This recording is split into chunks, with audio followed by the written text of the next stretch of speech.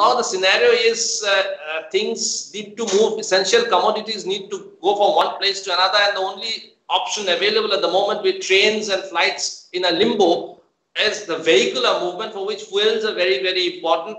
So, uh, although uh, the entire uh, your demand has come down a lot because, but what, what is the exact the prices have also crashed at the international. The exact scenario at the ground level? These are continuing as usual. Currently, although the roads and uh, things are not used too much by the motorists, but nevertheless they require some fuel.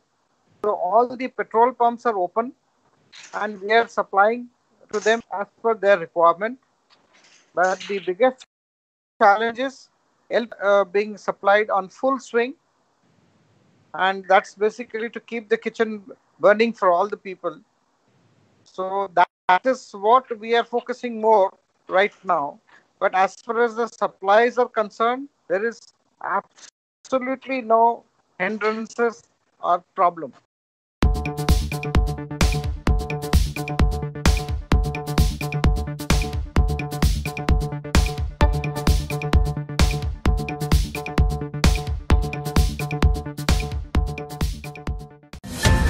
Please don't forget to subscribe our channel and also click the bell icon to get the latest updates.